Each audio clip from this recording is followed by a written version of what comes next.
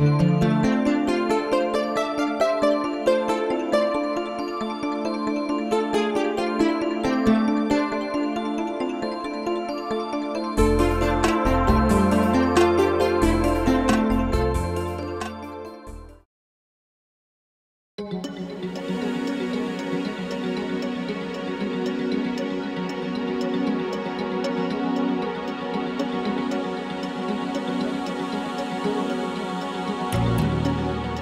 Jane Plitt, President of the Library Foundation, and I am thrilled to share with you that because of all of your support, we have smashed, smashed our goal for this evening.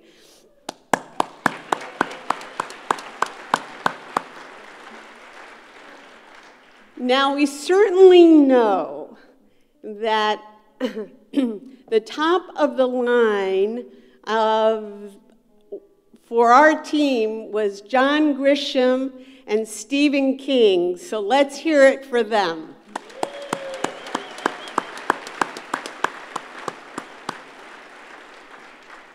And it was their graciousness of donating their time and their books I hope you all bought raffle tickets, but you have the opportunity after this event to still bid on the silent auction and help us raise even more money for literacy. This is a critical crisis for our county, and together, our library system is going to be able to help address the fact that today, nearly 50% of all of our third graders cannot read at a third grade level. And we're going to help do something about that. And it's not.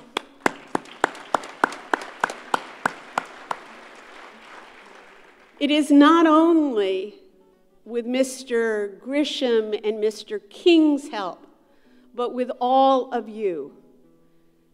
You are part of this amazing, caring team that says we unite over something so important as literacy. And we are blessed to have each and every one of you here and all of our generous sponsors and the media that help promote this wonderful event.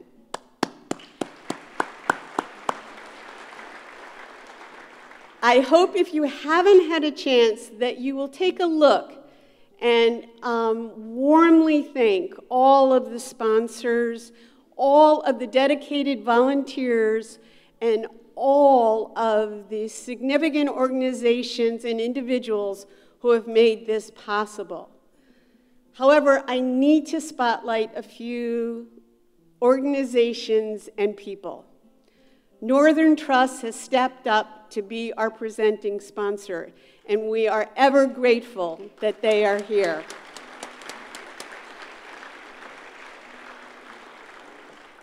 Our Library Foundation Board is made up of only volunteers.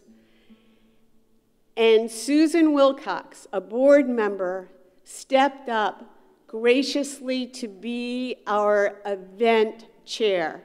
She has been extraordinary, applying her professional know how, her southern charm, and her attention to incredible detail. Many of you who called likely spoke to Susan, and I assure you that she assigned each and every one of the seats you're sitting in. So let's have an amazing round of applause for Susan.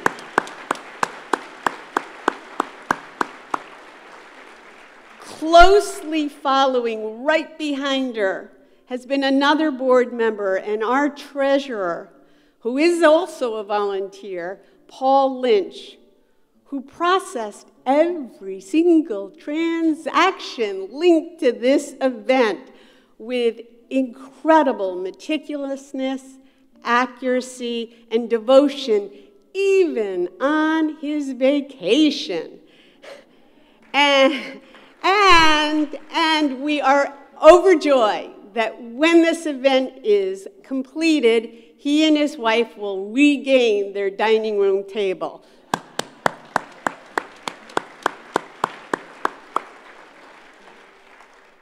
I also need to have a shout out for Anne and Eugene Beckstein, who through their family foundation underwrote so that nearly 30 students from the State College could be here tonight. They genuinely care.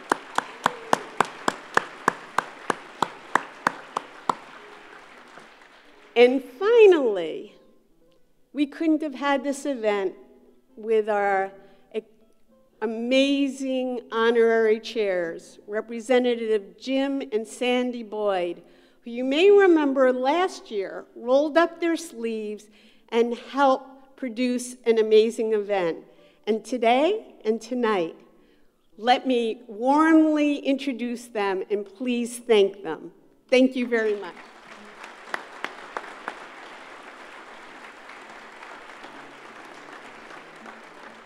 Thanks, Jane, thank you all. Um, you know, when Jane Plitt asks you to do something, you just do it and don't ask questions. She is an amazing lady, and Susan Wilcox, thank you so much for such a great, great idea and a great evening. And Sandy and I are just thrilled to be part of it. This is truly a highlight of our year. Last year, we stood in the green room uh, before the presentation, and we had a chance to talk to Mr. King, and you know, we were kind of starstruck a little bit. I'm like talking, and how do we top this, Mr. King? What do we do to top this next year? And he goes, You know what? I have an idea. I've got a really good friend who might be interested in coming. And when he said, I said, Well, I wonder who that would be. And, you know, I thought maybe James Patterson because he li- his family lives here. And he said, John Grisham. And we just kind of about fell over. But huge and enormous thanks to Stephen King for his generosity, his graciousness for doing this.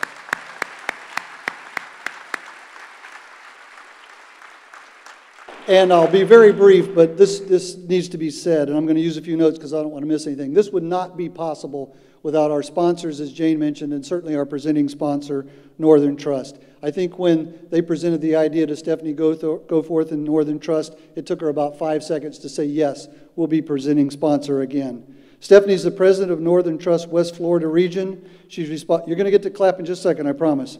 She's responsible for all aspects of Northern Trust wealth management business, including investment management, trust, and fiduciary management. Uh, she's in Naples and she covers all the way up to Tampa. She's a proud graduate of University of South Florida, where she majored in business management. She grew up in a little town uh, just by St. Pete, Gulfport, just right up, uh, right up the coast from us and she demonstrates her commitment by serving on several key boards throughout West Florida, including the University of South Florida, where she serves on the Board of Trustees. She's a great leader, a great business person, and most of all, just a great person. So help me welcome our presenting sponsor, Stephanie Goforth.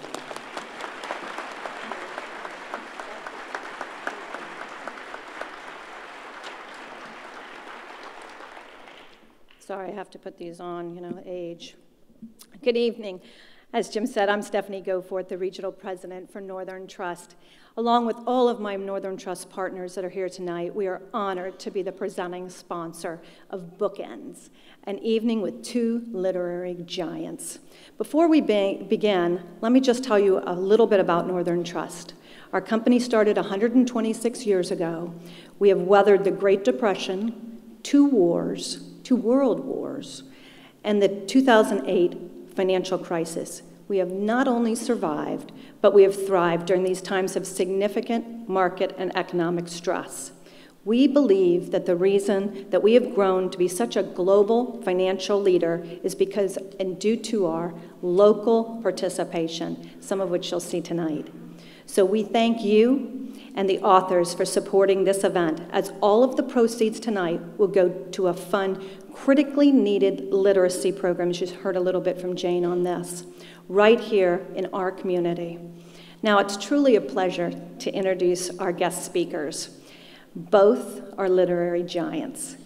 Both are passionate about their charitable endeavors, and both are a little fanatical about baseball. Long before John Grisham's name became synonymous with the modern legal thriller, he was working 60 to 70 hours a week at a small Mississippi law practice, squeezing in time before going to the office and during courtroom recesses to work on his hobby, writing his first novel. Since publishing A Time to Kill, and we all remember it, in 1988, Grisham has written one to two novels a year. Um, his other books are, of course, The Firm, The Pelican Brief, The Client, and most recently, just out, Rogue Lawyer. He annually gives away millions that focus on local initiatives in Mississippi and Virginia and justice outfits such as the Innocence Projects. The man who dreamed of being a professional baseball player now serves as the local Little League commissioner. Six ball fields he built on his property have played host to over 350 kids and 26 Little League teams. Quite the accomplishments. Our next author, Stephen King, has published more than 50 novels, five nonfiction books, many of which have been adopted into feature films, TV movies, and even comic books. Some of his most popular films include Carrie, The Shining, The Stand, Misery, It, and The Dark Tower. And he has sold more than 350 million copies of his books worldwide. Stephen King's Foundation helps support artists who are unable to work due to health problems, along with many other social concerns. And of course, we know how big a supporter he is to libraries. Last year, he received the National Medal for the Arts, the highest honor bestowed upon any artist by the United States. Please join me in welcoming John Grisham and Stephen King.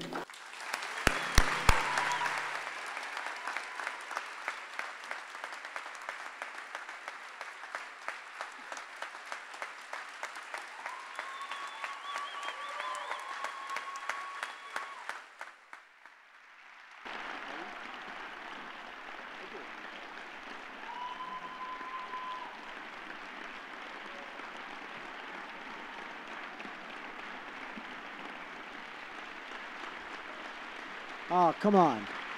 Don't. Don't stop. this guy came from Virginia after having hip surgery two weeks ago, so give him another hand.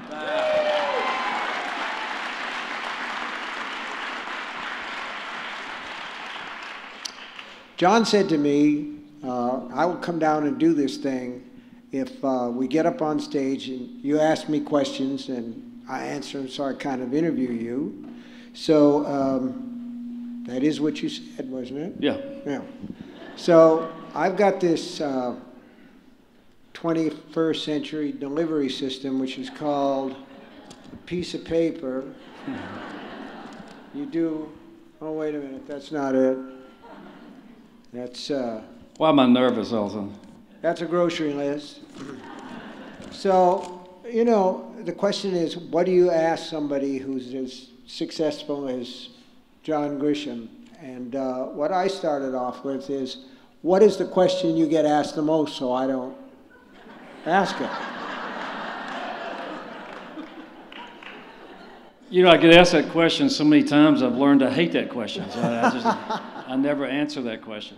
Um, can I first of all say I'm happy to be here? Uh, thank you for the invitation.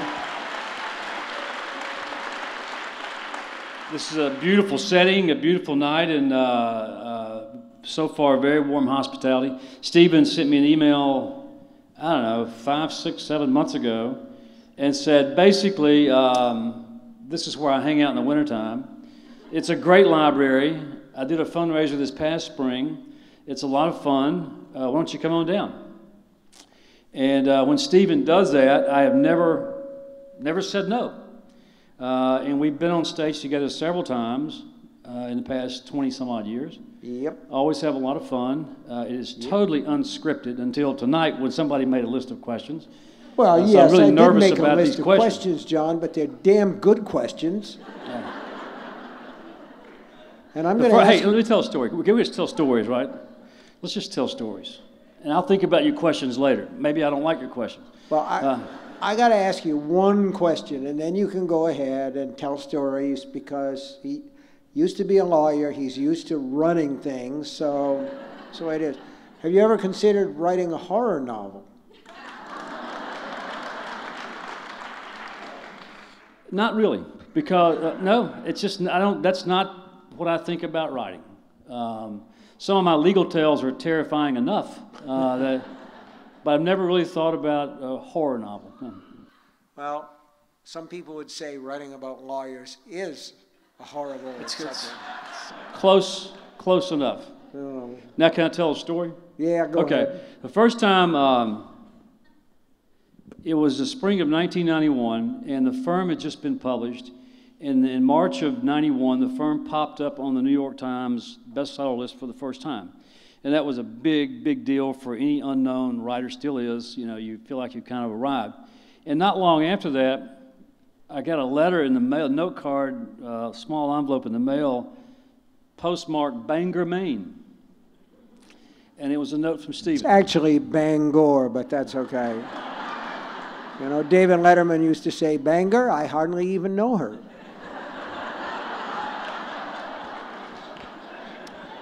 Not my joke. Go ahead, John.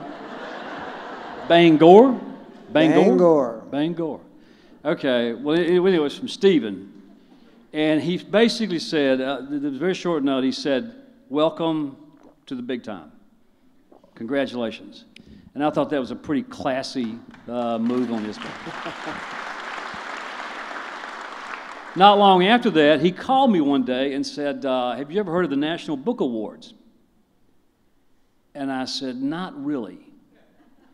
What is it? What are they? He said, Well, it's a bunch of uh, snotty, literary New York people who get together once a year and pat themselves on the back and hand out awards that are very serious in nature to serious literary artists. And I said, Then why are you calling me? And he said, Here's what I'm going to do. I want to go this year. I bought a table with 10 seats. I'm going to invite a bunch of commercial authors, a bunch of popular authors, and we're going to put on tuxedos. We're going to the National Book Awards and stink up the place. Can you do it? And I said, I, I would never say no to that. So I took off to New York and I met Stephen for the first time. We had on, we had on tuxedos, looked pretty dashing, and we behaved. We did not get any fights, but we behaved ourselves. We had a, we had a great night, and I can't remember uh, who else was there. Donald Westlake for sure. Donald Tabby Westlake. was there. Uh, I can't remember who else was there, but it was a, met, met at the Pierre Hotel, walked over to the National Book Awards, Yeah. and um, had and a great then, time. And then a few years later, I got a letter from those National Book Award people saying, we want to give you a National Book Award, meaning me, for your contribution to Literature. American literature. So, of course, I said yes, it was a big deal and everything, but really, it wasn't for a book. So I felt a little bit like, you know how in the Miss America pageant they always have Miss Congeniality? so I felt kind of like that. It, actually, it was hotly controversial Yes, it was. when they gave you the award because you're just an ordinary popular author as opposed to a highbrow literary star. And you invited us to come up for that, and we, went, we were there that night, Did. basically for, for physical support, because it was very controversial, and that, that again, they showed mm-hmm. how snooty they can be, I guess. so they said. By the way, I've never, they've never called me, Steve. Still- Well, they, they will. Just all you got to do is live long enough, you know.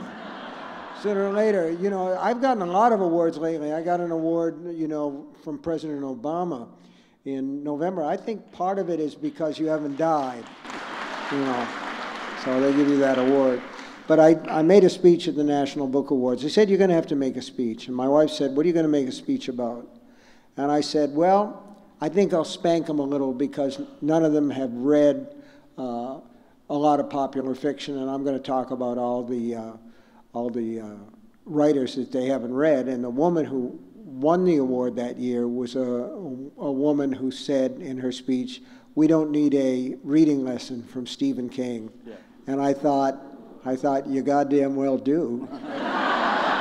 but anyway, you know, you were telling a story about the first time, you know, that you, how you found out that, what fascinated me was you said that A Time to Kill, which was not your, not at the time, the firm, Right, right. actually sold to the movies before it sold as a book. A Time to Kill uh, was published in, in the summer of 1989 by a small unknown publishing company in New York. Oddly enough, the guy who worked there is kind of a you know, a very small outfit. Let's put it, it was not one of the big publishers. But the guy who finally saw A Time to Kill after all the big publishers had said no and a bunch of agents had said no, uh, the guy who finally um, said, I'll buy this book and I'll publish this book was a guy named Bill Thompson. And so we took off to New York, my wife and I, just thrilled. We had lunch with Bill Thompson, and he told us another story. And he said about 15 years earlier, he was a senior editor at Doubleday, and he received a manuscript uh, in the mail from Bangor, Maine. and the guy who Terrific, sent, John. That was really good. but hang on, I'm not finished. And so he, he said uh, the, the book was really good, but it wasn't quite good enough.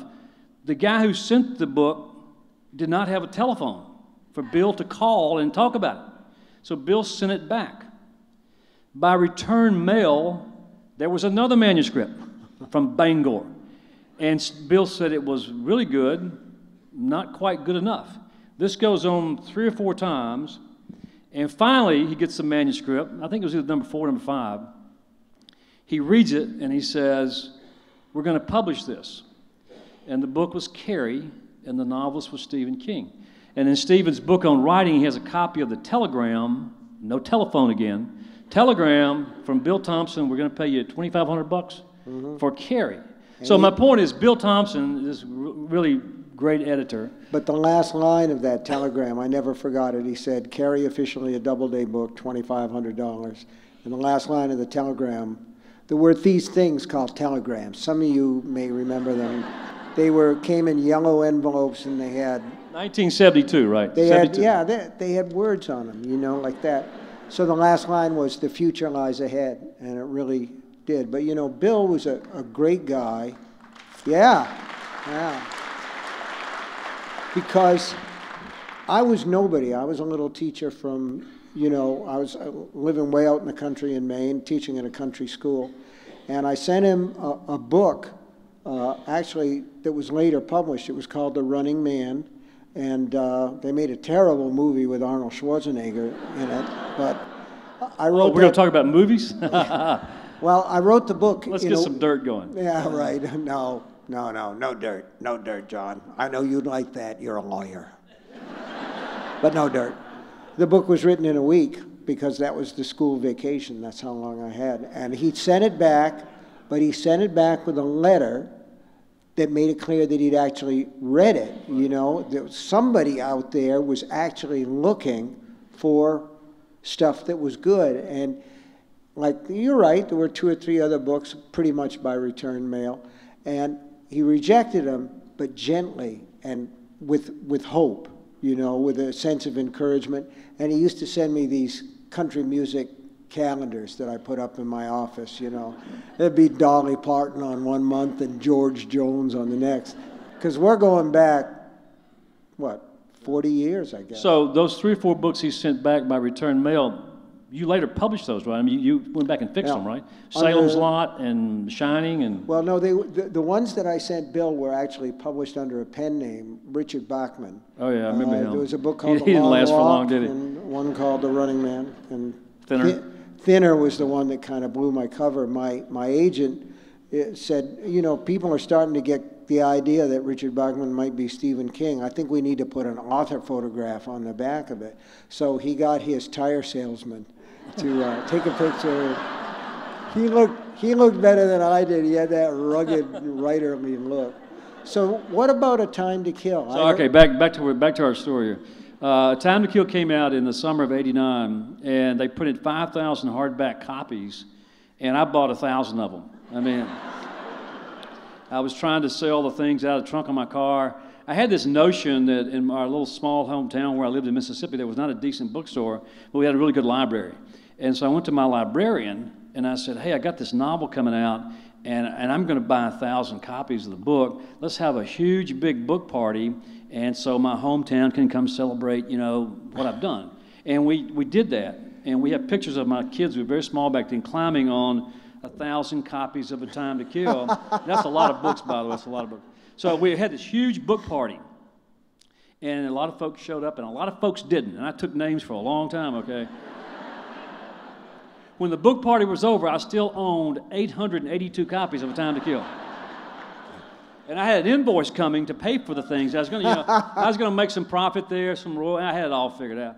And so I went back to my librarian in a panic, and I said, "Hey, uh, you know, I can kind of take this show on the road and go to if you have buddies with other libraries." And it took me 35 libraries later, and I unloaded A Time to Kill, and uh, those things are now worth. Um,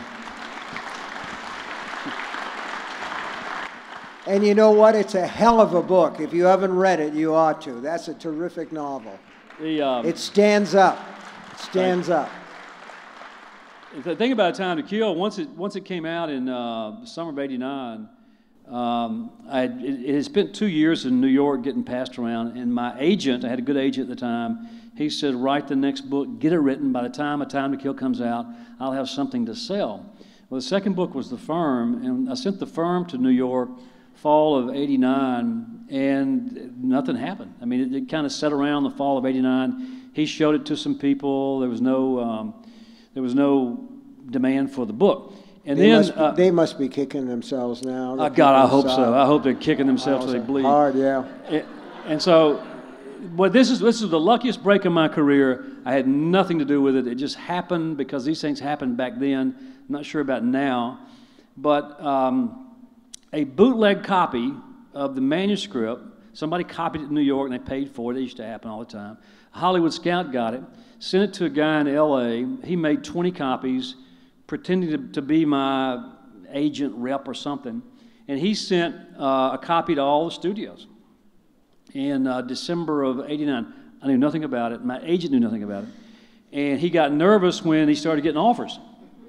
And the offers got bigger and bigger. And so finally he called uh, my agent and said, um, Hey, look, you know, I meant to call you, this, that, whatever, you know.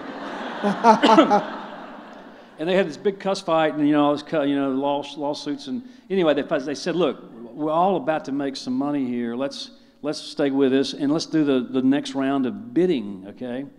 And so the first Sunday in January in 1990, uh, I was actually at church Sunday morning. My wife comes in late, as always. I had one kid, she had the other. And she said, Go call New York. Your agent just called. Well, these people don't work on Fridays, or you know, they don't work on working on Sunday. Unheard of. So I ran home and I called my agent, and he said, "I need your." He's very abrupt. He said, "I need your uh, authority to take the highest offer from Paramount Pictures, Disney, Touchstone, or Universal Pictures for the film rights to the firm." I said, "What about the book rights?"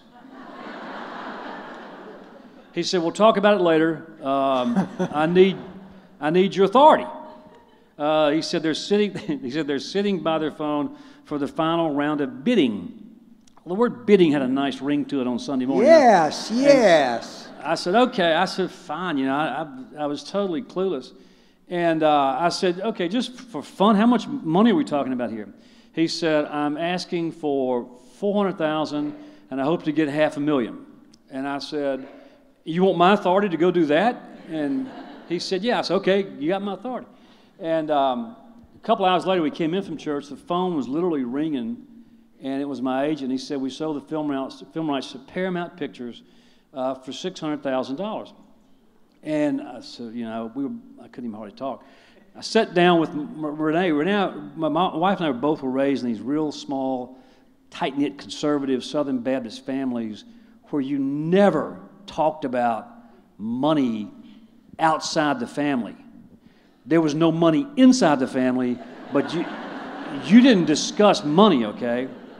And we said, okay, here's what we're going to do. We can't believe this. We'll tell people that we've sold the film rights, but we are never, we're never going to talk about this stuff. It's, it's going to change everything. Oh, I got to hear the rest of this. Well, for, well, you, first thing Monday morning, Paramount issues a press release with all the details, and so it was a secret, a secret deal in Hollywood. Yeah.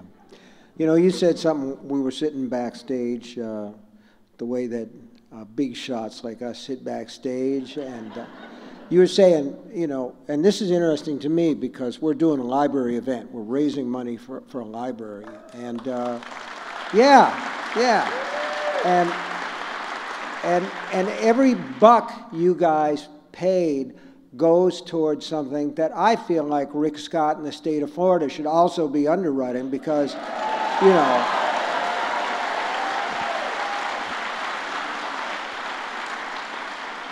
call, me a commie simp if you want, but I actually think the arts are sort of important and kind of like a, a keystone to thought and democracy, but probably, you know, I'm the sort of guy that Ted Cruz would just, you know, boom. But what you Steve, said. let's stay away from politics. Have right, you got another okay. question over there? I'm just kind of curious. Yeah, well, I'm good. I'm wait, wait, wait, wait. Uh, Never mind that. What I wanted to say is based on you said back there that we're a couple of famous writers in a society that doesn't read. So you know, you were Well, saying we- we're, talk, we're talking about um, we're talking about. we're not asking- like Michael Jackson. They, they were asking us if, if we well, get, he's dead, you know, but i- if we can we- you know do we live normal lives? Do we can we go out in public? Do we go out to restaurants? Can we walk around? You know, and the answer is absolutely yes. And we we rarely I rarely get recognized. Steve has a more exotic look about him. You know, when you kind of you know you, had the, you remember that face, okay? Um, remember when he had the beard, this big bushy beard on, on, Oh, on the back of his dust I mean, jackets? It you- was You're the guy really, who was the really, heartthrob after really- that jacket photo on the firm. You know, you had a little stubble, you know.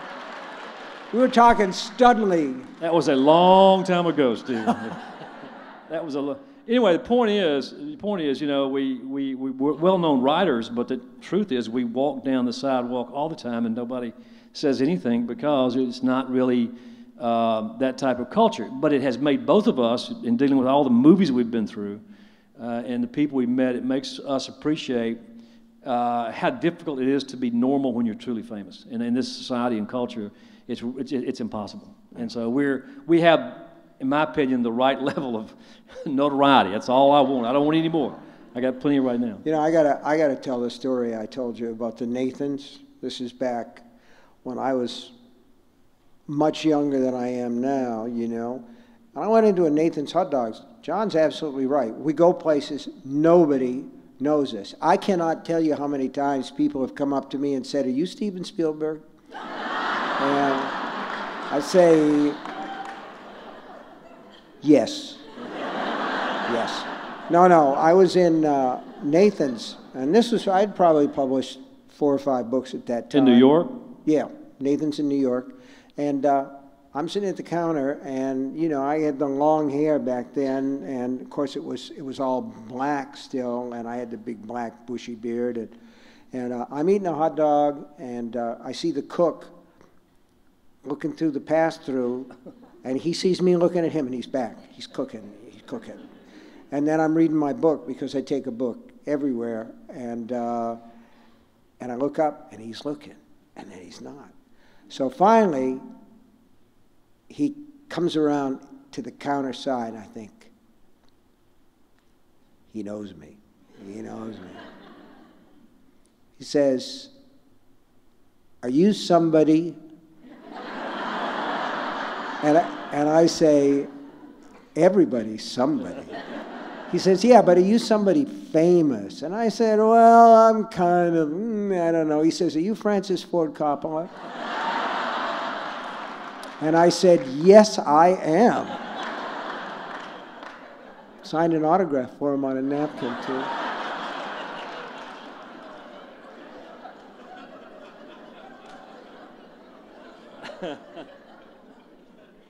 Uh, your first question. Uh, what's the, the, the, the question I get the most? Yeah. It's, it, we've talked, we've laughed about this. People say, where do you get your ideas?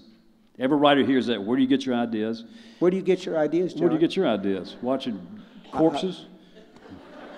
You know, it, it is, the question is, it's infuriating. I can name ideas that I got for certain books, but they seem to think like there's a, an, a central idea market. A website? Yeah. So I used to tell people I get them in Utica. Yeah. There's a little used idea shop. There's used, but still a lot of wear in them. So, I But- get my ideas by reading newspapers. yeah. My, you know, my stories are all about laws, uh, lawyers, firms, trials, litigation, courts, appeals, decisions, and in this country, there's no uh, shortage of material. And you, I mean, you look at the newspaper every day. You watch, you know, the you don't have to look, dig deep. There's always we have a trial of the century every two years. You know, there's always always some big trial, some big legal issue that we're all fascinated with. And so that's that's what I browse just out of habit, always with the idea of taking some issue that I haven't touched on before and maybe weaving a novel around it. That's that's what that's how I spend half my time. And it, it just it just comes natural, this constantly surfing, searching for stories about the law. Number two, Well, no, I was just thinking about, uh, yeah, it, uh, I can, I was thinking about, actually, about, about a book I wrote called Misery. And uh, having read a piece somewhere about um, a killer nurse who thought that she was doing a favor for the patients. She killed like 60 or 70 people. And I thought, I want to write a, a story about that. And uh, no, I was just going to ask you uh, whether or not people still come and ask you to take cases. That people want you to defend them in court and stuff. I, well, yeah. I mean, I get a lot of letter from a lot of letters from prison. Um, there are a fair number of lawyers in prison, and I'm not kidding. And they and listen, they all have fantastic stories. Uh, I was actually doing research for a book called The Brethren, and I went through the, the prison system in um, in Washington to get approval to visit a federal camp. As it turns out, it's in North Florida. So I flew down, and when I was talking to the warden on the way down, they were very nice. I said, "This is a story about some judges who are in prison. Do you have any judges?" And he thought for a second, and says, "No, we don't have any judges right now." I said, "What about lawyers?" He said, "Oh, we always got a bunch of lawyers." I said. I said, I would like to talk to them in a room, you know, just sit around and talk to what happened to them. And it was, uh, they were anxious to talk, eager to talk, and it was, uh, I took pages and pages of notes, and it was, um, you know, very, very sad, obviously, but also uh, enlightening. What was the question? Oh, I was just asking you, uh, what the hell did I ask Yeah. him? I'm glad you wrote them down. You're not even paying We attention. talked to about where you got your ideas. Now, wait a minute. Hold on a minute. Oh, man, I don't know. What was it? Oh, defense about, Yeah, yeah, yeah. Thank you. Uh, no, the answer is no. I, uh, I went back to court oh, 20 years ago for the last time, and uh, and when I left that courthouse, trial work is uh, very, very stressful when you do it every day or every week. And I went back in 1996 to do to handle the last trial I couldn't get rid of, and I had not been in a courtroom in like five or six years, and I had no business being there. It's a, it's a, it's a skill set. It's a body of knowledge you have to master, and you know the great trial lawyers that are in court all the time. And I had no business being there, but I would never. Um, I, I cannot imagine doing that again. We were talking a little bit about the, the movies when we were hanging out backstage. And, uh, well, I was, for me, a lot of people will come up and say, Oh, you're Stephen King. I really like your movies, you know? And I'll say, Well, I've written a few books too, but they're actually more books than movies. Um, you've had movies made out of your books. How do you feel about them? One of my favorite, uh, one of my favorite stories about how to keep humility as a focal point of your life is when they walk up and say, "Hey, man, I know you're John Grisham. Um, hadn't read your books, but I love your movies." Mm-hmm. Yep. Yeah, I hear that and you say, "Thank you, thank you." A lot of things you want to say, but you know why bother? Just let it slide and keep going, and be happy that somebody recognized you. You know, we were talking about movies, Steve, because 20 years ago I had the first, you know, several movies came out. Uh, the Firm came first, Pelican Brief, Client, uh, Rainmaker, Time to Kill, Runaway Jury. The Chamber came out then, but it was it, it was not a good movie, so nobody went to see it. But uh, you know, those first five or six movies in the early '90s, they had huge casts, uh, big budget films for back then. They were all Julia Roberts and the Pelican Brief. yeah, they were Yeah. all they were all successful movies at the box office around the world. Everybody made a lot of money off those movies, and they back then they would pay us, you, you, me, and Michael Crichton primarily, uh, a lot of money up front for the at contract time, which is unheard of now. But th- that was the deal. You write the manuscript, take it to L.A., sell it. They get in high gear. They make a movie that comes out two years later, and again, everybody is is uh, successful, and there's a lot of money made. And for some reason, that model will not work today. I have not had a movie made in 10 years. I mean, I don't fret about it because I can't control any of it. Mm-hmm. But I think, I think most writers, well, this is what Stephen told me the first time I met him. He said, uh, and I, again, I was, a, I was a rookie and I was looking for advice, and he was, uh, as he always is, very gracious and thoughtful because he'd been through so much. But he said, Look, John, let me tell you something, pal. Uh, when it comes to movies, there are two groups. The first group of writers. The first group consists of those who do not sell to Hollywood for whatever reason. excuse me, they don't sell. That's a small group, okay? The second group consists of those of us who do. And if you're going to sell, there are certain rules involved. Very simple. Number one, get all your money up front. Number two, kiss it goodbye. And number three, expect it to be something different. And if you don't like that, go join the first group. That's what Stephen told me 23 years ago. Something like that. something like that. But you know, Ernest Hemingway said the best deal that a writer can have is a studio pays a lot of money to make a movie out of a book and then never makes the movie. so he's a little bit cynical about that. But what I was telling John before was, in a way, a movie saved my career. Um, I was, you know, we've got a lot of things in common. I also got a call uh, on Sunday about sales. I, I sold the book to Car- uh, the, the novel Carrie to Doubleday. The advance that they paid was twenty five hundred dollars. And believe me, that $2,500 looked like very tall tickets to my wife and I because we were living in a trailer. We had two kids. She was working at Dunkin' Donuts. I was teaching school and working in a laundry in the summertime. And uh, she said, Well, $2,500. She said, Okay, this is the woman who cut up all the credit cards about a month before. And I said, Why did you do that, honey? That golf card was pretty cool. We got it free in the mail. And she said, We can't afford the interest charge. She, she was really smart. She had it together. So, and she looked really cute in her Dunkin' Donut uniform, too. it was, oh man, it was tight and it was oh, just, oh man. Never mind. The thing is, we got $2,500 and she says to me, don't even think about that money. We're going to get a, we're going to get a car we're going to buy a car. And we did. We bought a little uh, economy car, and that's what we had.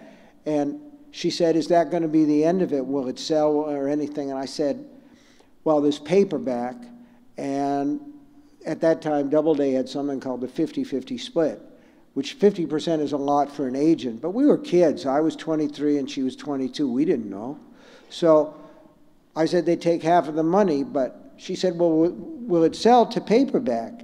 And I said, uh, It might.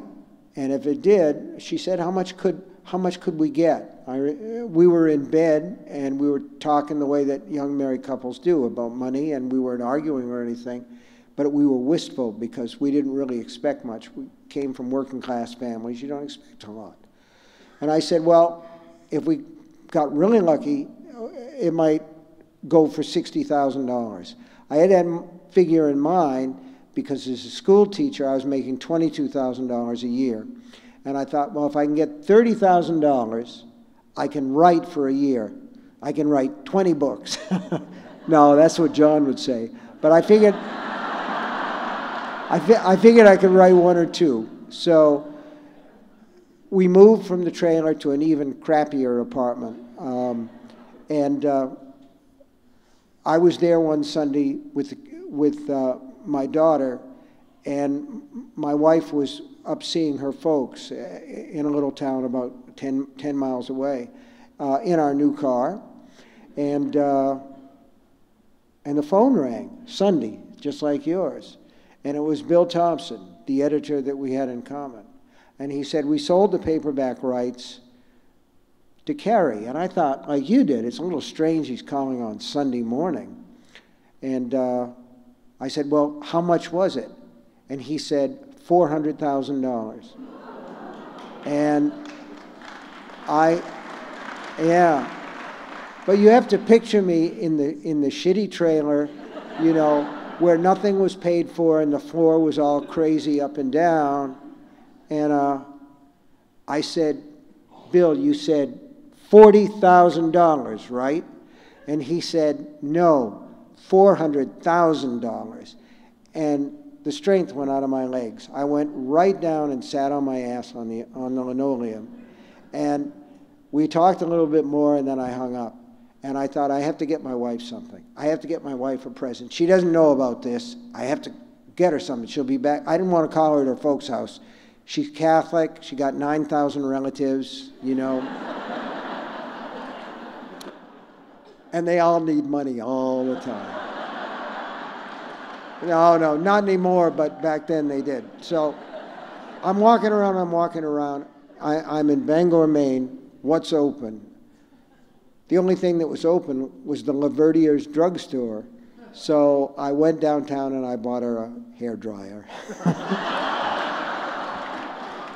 and she got home from her folks, and I said, Honey, I bought you something. And she said, Oh, a hair dryer. and then she said, It's beautiful, Steve, but I want you to take it back because we can't afford it. And I said, Bill Thompson called, and we sold the paperback rights for $400,000.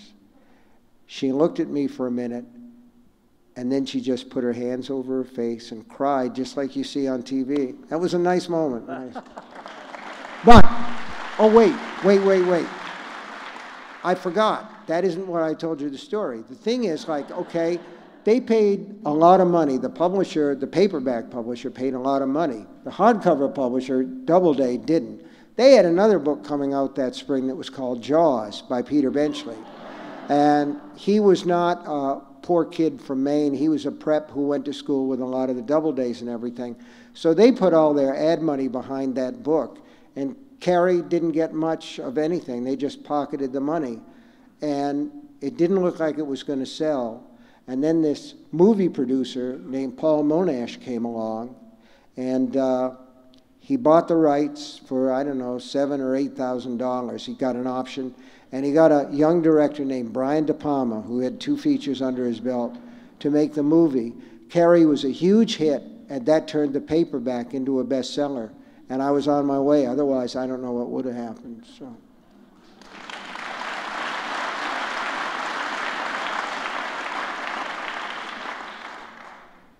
We, uh, you know, every time we do this, Steve, we've done this three or four times in the past 20 years, uh, and we always thoroughly enjoy it. And thanks for having us. But um, every time we together, we always tell the same stories about what it was like back then, and the dreams of you know two kids, one in Maine, one in Mississippi, uh, writing, not knowing if you're ever going to, everybody's ever going to read it. You know, I didn't, I had no idea what was going to happen, and Steve didn't either. But um, you know, we never left our roots.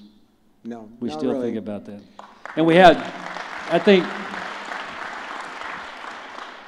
one reason we're both married to extraordinary women. Yeah.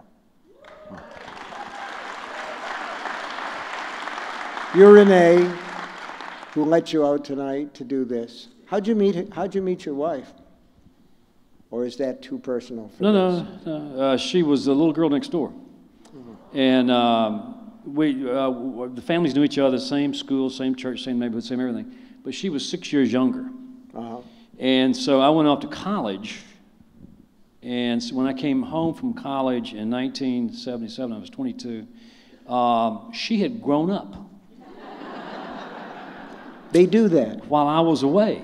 And uh, I couldn't date her for a year because she was only 16 and I was 22. So I had to wait a whole year to ask her out. And she said, sure. Her parents said, hell no. She, you're not going out with a Grisham, okay?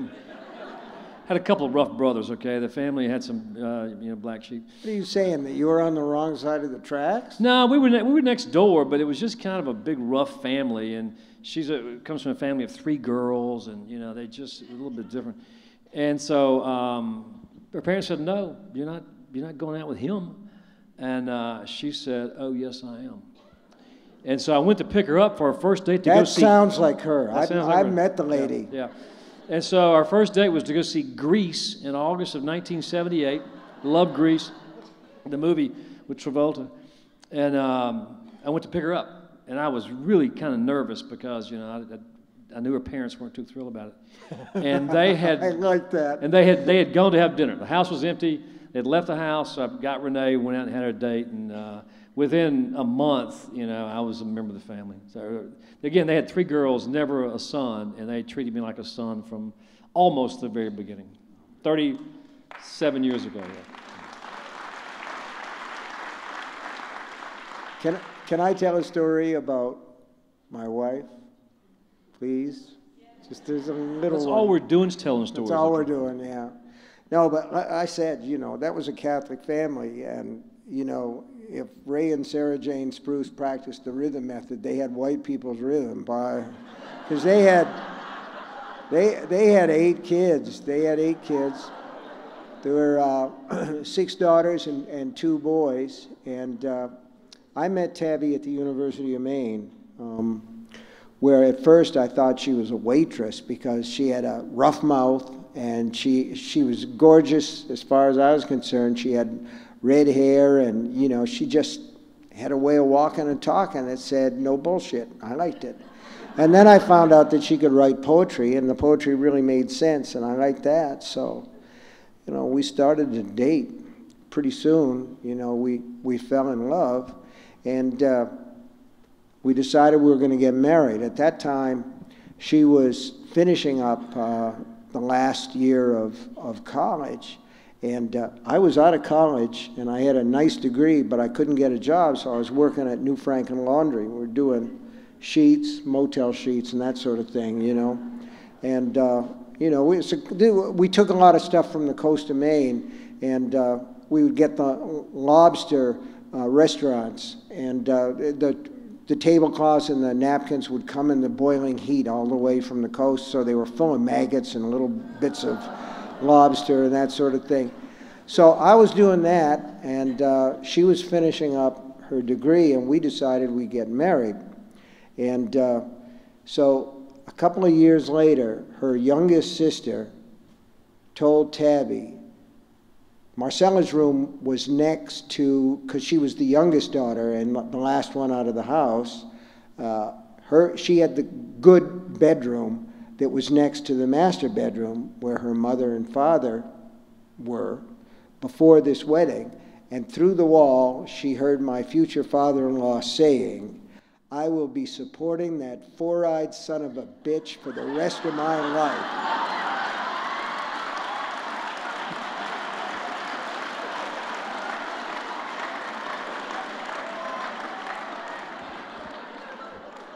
And I thought about that every time I bought him a car in later years.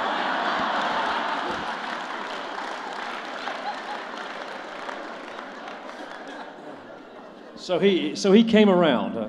He did. He did come around, and uh, what a great guy! Uh, you know, old Navy from World War II, fought in every theater, and you know, a terrific guy who raised his family in the the old style. You know, uh, go to work, work all day, and and uh, take care of those kids and make sure that they got shoes on their feet and they got a good Catholic education at John Bapst High School. So, yeah, it was it was good. It was good. back down memory lane here. Um, in 1993, we were living in Oxford, Mississippi, which was our home. Uh, and we have an annual book festival, the uh, Oxford Book Festival. And I called Stephen and I said, Hey, why don't you come down and do the book festival? He said, Sure. And so we'd been in town for like three years. We went to, sc- we, uh, went to school at Ole Miss and we got married in Oxford and we built our dream house there in, in around 1990. So Stephen came to Oxford and we did the book festival and had a great time. We were on stage with a writer named Barry Hannah, who was the MC, and we just just, you know, like tonight, just one story after another. Terrific time that was. Wonderful time. And so that night, uh, Stephen's staying um, down the hallway uh, at, at the bedroom on the end. And so we're in the bed, uh, getting ready for bed. It had been a long day. And so Renee crawls in the bed and she says, What are you doing? I said, Well, I was trying to go to sleep. She said, What do you mean you're going to sleep? I said, Renee, it's midnight, okay? We've had a long day. She said, Stephen King is in the house.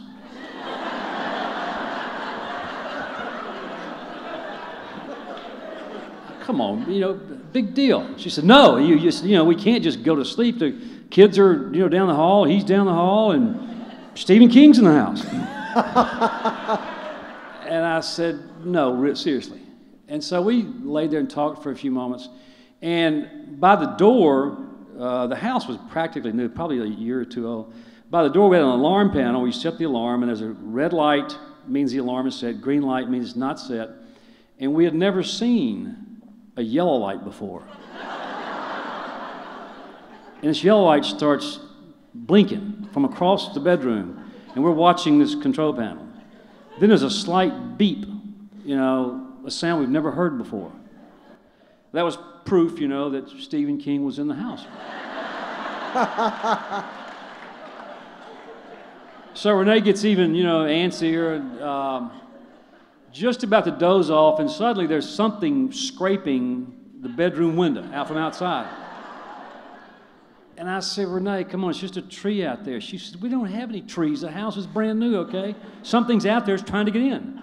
I said, Just relax, okay, just settle down. I went through, got, got her settled down, you know, almost asleep, and then I, I wish I had a recording of this. Evidently, on the front porch, these two cats attacked each other. We didn't, ha- we didn't have any cats, okay? And there was this great scream that went up, you know, all just below us down here. We jumped out of our skin, ran downstairs. This is, you know, by now 2 o'clock in the morning. There's no way anybody's going to sleep. You could practically hear Stephen snoring at the end of the hallway. I dozed off at some point. Renee never came to bed. She st- stayed downstairs on the sofa, probably with a gun of some variety. And at daybreak, she comes and gets to the bed. She said, Just get him out of here, okay? Just get him out of here.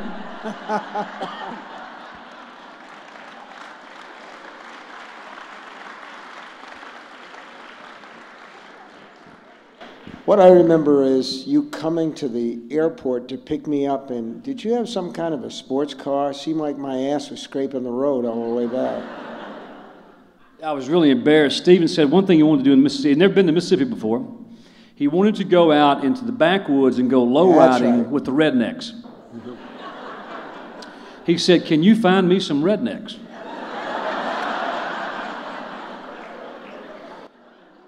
As I remember, John, what you said was, Do you want to see some rednecks? I know some rednecks. The problem was I did not have a pickup truck. I actually bought one the following year, but I did not have a pickup truck. As it just so happens, a couple of months before at Christmas, Renee had bought me this gorgeous four door, sleek, black, fancy Jaguar. I mean, it That's would glow in the dark. And that's what I was sporting around in. So I picked Steve up at the airport, and he was so disappointed. And went back to the house, and this was like Saturday afternoon. He said, "Let's go riding around. Let's go ride." So we got in the Jaguar to go low riding with the rednecks in the backcountry. It just wasn't the same, was it? No. No, it wasn't really quite the same at all. You know, I thought we were going to get in a pickup truck, John, and I thought it was going to have primer paint and it was going to have an old Dixie sticker on the back with that flag, and we were going to chew matches in our teeth. Or chewing tobacco. Yeah. have some, we were going to have a little red man, and we were going to go back roading, but we did go back We go back you know. I said, and we met, uh, we met Larry Brown. Larry Brown. And uh, Larry Brown was living Barry there then. Hannah was there. Barry Hannah. Willie you know, Morris was there. Willie Morris, yeah, a lot of cool Southern writers. I, we had a nice party, and it was, so, all that said, you know, what do you think about publishing today? What do you think about, I mean, we got people out there in that audience tonight that are readers, obviously your readers, listen, this is great. You're not home watching TV. You're here. I mean, it's great.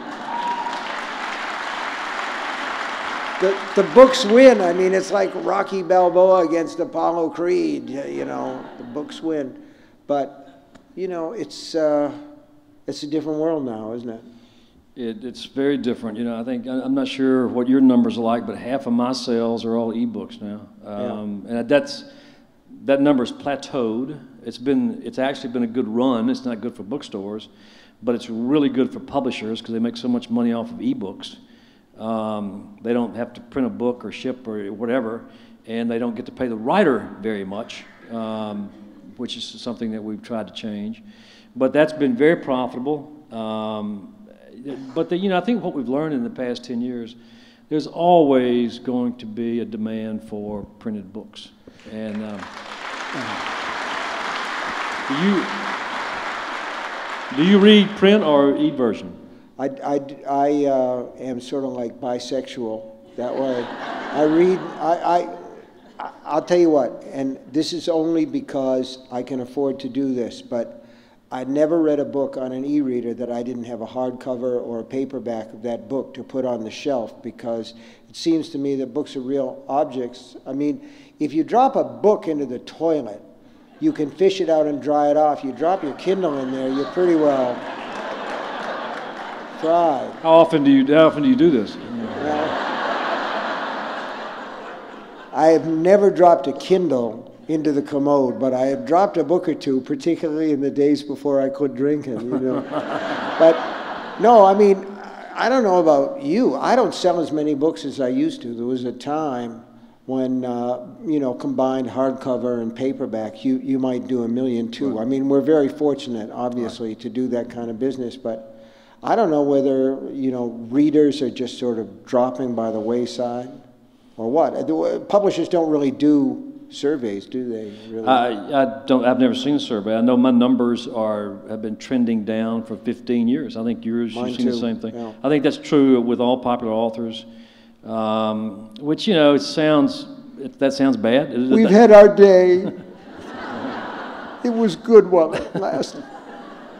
But the truth is, um, and I still say this, and I, I hope I, it doesn't sound naive. When I talk to aspiring writers, uh, it, yeah, it's more difficult to get published today probably than it was when we got published. We got, you know, even though it was impo- looked impossible back then. But every year, every year, you have dozens of first-time authors who come out with novels. Uh, some are good, some are some are not so good. And I, and, I, and I keep telling people over and over if what you're writing is good, it will eventually be noticed. Because there are so many people now looking for uh, new material with all the different methods of publication now and, and you know instant communication. You know, if, if, if you're writing something good, it is eventually going to be noticed. And if it's not eventually noticed, you probably are wasting your time. Yeah. People, people love stories. And uh, this guy here is a hell of a storyteller. Um, just is. We're from the beginning. And uh, I'm not sure whether that's a, I think, I think that's a honed skill, but I also think that there's something built in uh, because your stories drew me from the first. Uh, obviously, you know, somebody sent me a, Doubleday sent me a galley of the firm. When I read the firm, then I doubled back and I read A Time to Kill. And since then, I've, I've been with it. But, uh, you know, the story about Bill Thompson um, taking my book, Carrie, and your book, uh, of all the people, and, you know, people would say to me when I was getting rejection slips and pounding away at stories, well, you'll probably never happen. There are so many writers out there that are established. And I said, well, I have youth on my side. They've got to die. I mean, James Michener, James Michener is older than God. And, uh, and as far as I'm concerned, Herman Wouk is God. He's still alive. He's 100 years old. And uh, he published a book last year. But I figured that I would have a chance for that. But still, somebody has to look and see that gold, you know, that, because it's a business, isn't it? I, I don't recall ever thinking about, um, yeah, I mean, you, you never believe you're going to get published. I used to do this, and it was really not you know, not smart to do, but I'd walk in a, like a Walden bookstore, the old B. Dalton bookstore, or Barnes and Noble, in a big mall somewhere, you know, or in Memphis where we live, and I'd see the wall just covered with, you know, dozens and dozens of brand new uh, books, and I would think, God, there's no room for me. I mean, who wants to who wants to hear from what? What do I have to say? What do I have to say? And it'd be I'd get depressed for a while, and I would stop. You know, maybe I'd stop writing for a week or two, and then Renee would eventually intervene and uh, kick me in the ass, and I'd start writing again. Uh, but it, you know, the per- perseverance is a big, big factor. We could tell stories all night about writers we know who um, collected rejection letters for a long time and, and hung with it and finally got published. Uh, that's that's going to happen to somebody this year and next year and next year. I'm not I'm not overly optimistic when I tell people it can happen, but it happens every year. Yeah. I think that you and I both get uh, a lot of books that are sent to us from publishers, but also manuscripts from writers or books that are published by small presses. And uh, I always try to give them a look. Um, frankly, a lot of times what I see is nothing that's worth going on with, but still, somebody helped me, somebody uh, took a look at, at me when I was struggling, but also, uh, we both had something to say and we both had an innate talent.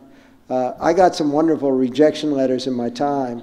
Uh, I sent uh, uh, Bennett Cerf um, a book of mine called The Long Walk, which was eventually published under the Bachman name and I got a rejection slip back saying, uh, we're not interested in books that are this negative. So, you know, he's lost, can I say? Did you keep them all? Uh, the rejection slips?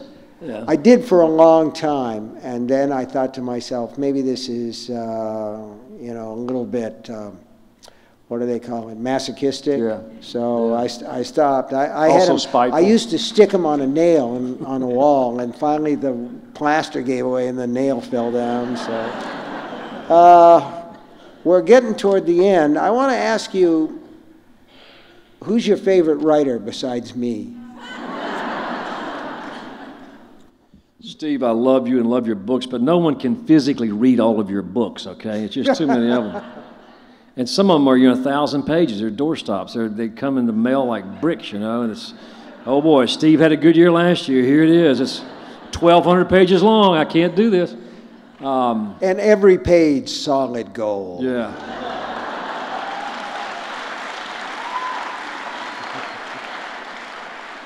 About five years ago, I was on, doing Charlie Rose in New York, and, and Steve knows him well. I know him as a great guy. And he, at the time, I'd written like you know 30 books, and I was doing two a year. And he says, "Why are you, why, why do you work so? Why, why are you writing so many books?" And I said, "Well, Stephen King's written 52. I'm trying to catch him." And uh, that got back to Steve, by the way. So he kicked into high gear. And when Steve kicks into high gear, nobody's going to catch Steve. So. Uh, well, we were, we were talking earlier. In the past month, uh, for some reason, I went back and started reading the Travis McGee novels, John D. MacDonald. I read them when I was in law school, uh, 30 years, 35 years ago. We were always passing around Travis McGee uh, paperback books. I had some buddies who loved to read. Um, what else am I reading? I read a lot of stuff that I don't finish. A lot of the galleys they send me, like you. I mean, I'll, I'll give somebody 50 pages maybe 100 Yeah, pages. yeah, 50 you know, You know, if, it- if it's if it's a good publisher, maybe it's a, an editor or a friend, somebody I know, a friend of my agent or somebody who you know needs a plug. I think we're always kind of looking to you know to, to blurb something that's good, maybe help somebody get started. I spend a lot of time doing that. It's usually not very productive. Mm-hmm. I'll show you how much clout I have in publishing. About five years ago, a young lawyer in Charlottesville, um, I met him through a friend, and he was about to go off and research and write his first novel. And I thought, okay, yeah, I'll never see him again. And six months later, I got the email, his book was finished. I said, okay, now I guess I got to read the thing now, you know, 500 Yeah, I know, that's the hard part. That's the hard part. So I read the book, thoroughly enjoyed it. Guy's a good writer, told a great story. And I've, I've never done this in 25 years of publishing. I called my agent, uh, who I've been with for 20 some odd years, very close friends, and I said, This guy can write, he can tell a story, you need to represent him, and sell this book. Okay? So David, I sent the book to David.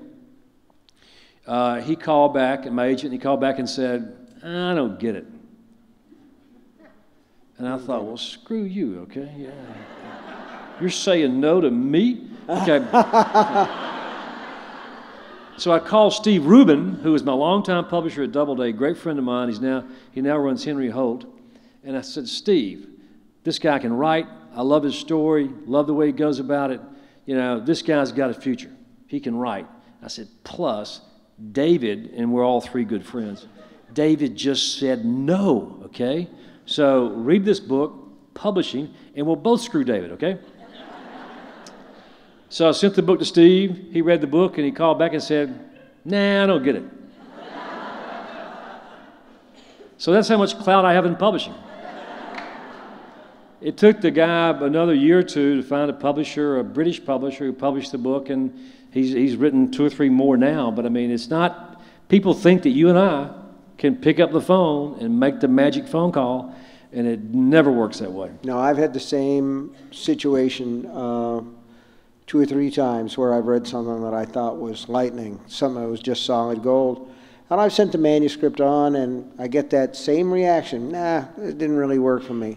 Well, why didn't it really work for you? Nah, it just didn't work for me. You know, it's kind of like uh, hitting on a brick wall.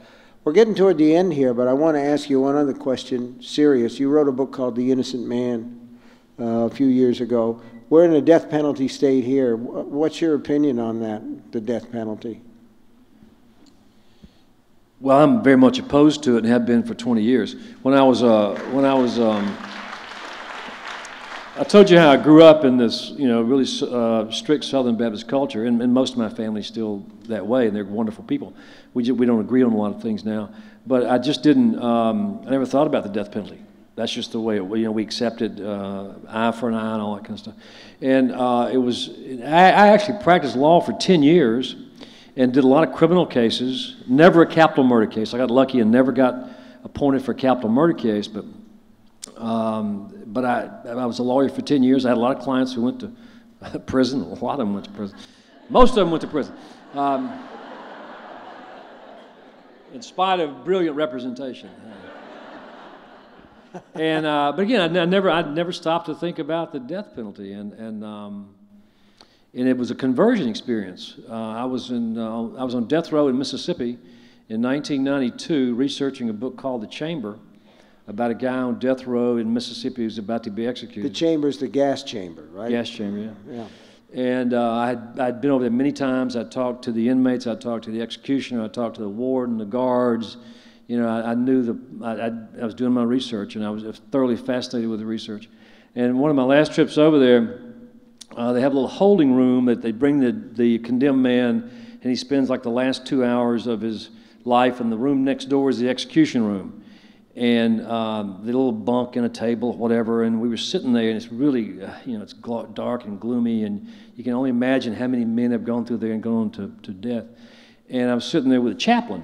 The chaplain was a retired Baptist preacher, and um, we were talking about pretty heavy stuff, man. I mean, we were we were talking about, you know, faith in God, and um, he said, uh, "Mr. Grisham, were you a Christian?" I said, Yes, sir, I'm a Christian. He said, Do you think Christ would condone what we do here? And I said, No. He said, I don't think so either. And that's, that was a conversion experience for me. Now, having researched it and read about it and, and written about it for the past uh, 20 years, even if you love the death penalty, you cannot support the current system. It's uh, so arbitrary and uh, unfairly um, used, and we have we've had 125 DNA exonerations through the Innocence Project in New York from death row. We have 400 total, coast to coast, all DNA. Um, but 125 of those guys were on death row, including the one I read, I read about. I mean, I wrote about. Ron Williamson in Oklahoma came within five days of being executed uh, for murder he didn't commit uh, in about 1982. So mistakes have been made. We do not yet have uh, a clear DNA case that proves that we just killed the wrong guy. We got a couple of cases in Texas where the, the scientific proof uh, leans heavily in favor of killing the wrong guy, okay? But no DNA clincher. And I've often wondered what's going to happen when we wake up one day and we have the clincher. We have the DNA clear proof that we just executed the wrong guy. And I don't know what's going to happen as a society, a culture, a nation when, when that happens. So I don't know. It's, it's fascinating. I still, uh, I, I enjoy researching it now. Never, even in cases like Ted Bundy or John Wayne Gacy or, uh, never. Never. Okay. If it's wrong to kill, how can we kill in the name of the state? Yeah. And on that note, I think we'll thank you all very much. Thank you. My John. pleasure. Thank you all. Thanks for coming. Thank you.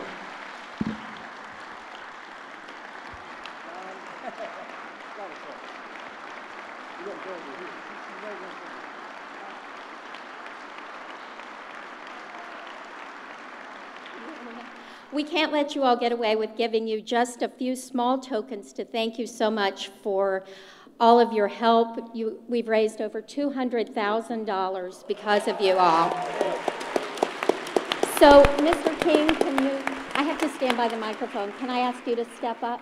Mr. King. Mr. King. Mr. King. So the first thing we have for you, we tried to decide what you give a man who probably has everything. And one of the things we know you like is. I don't have you, baby. All right, just ask. we have a dinner for you that'll a private dinner prepared by your favorite chef. Chef Ralph.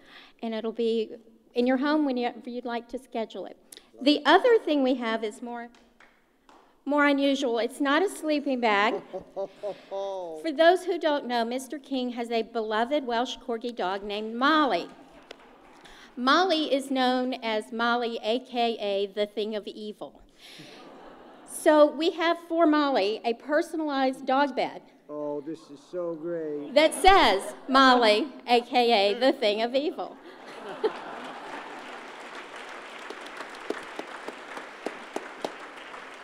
Thank you so much. And now that Molly is like a year, almost a year and a half old, it may actually last a while before turning into rags.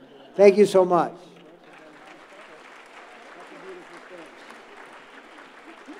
Thank you. Mr. Grisham, um, we share at least one thing in common, sir. We're both legislators, as we talked earlier. I appreciate your time of service in Mississippi, and I'm sure your constituents and uh, fellow Mississippians did as well. On behalf of the Florida House of Representatives, we uh, gave one of these to Mr. King last year. We'd like to give you a tribute. Uh, My own resolution? your own resolution, Wow. sir, and thanking you for all your contributions to the literary world and every other cause that you've been involved in for good. So I thank you don't so have one of much. these from Mississippi? Thank you very much. Thank you. Thank y'all very much. Thank you. John, we've got something for you from the Library Foundation as well.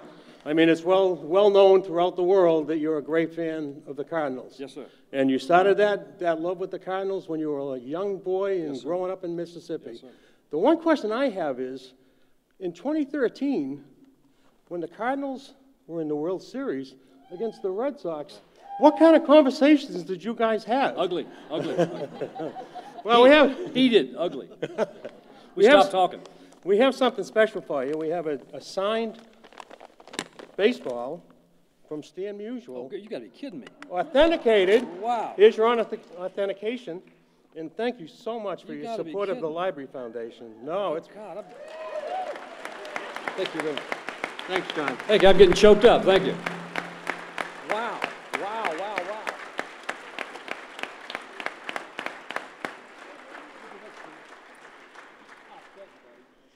Thank you. Um, I'm a bit starstruck. I'm Ava Eady, the library manager for the county, and I am um, amazed to have a room full of readers and huge supporters and off-the-charts authors. And so I am very grateful that I have a present here from RBI, which is the Reviving Baseball in Inner City. It's a Major League Baseball initiative working with the Pittsburgh Pirates. And so inside this bag for Mr. Grisham are a number of gifts, including T-shirts and baseball, and also a um, Pittsburgh Pirates T-shirt. Love the Pirates. Thank you. Thank you. Thank you, Thank you very much. Thank you.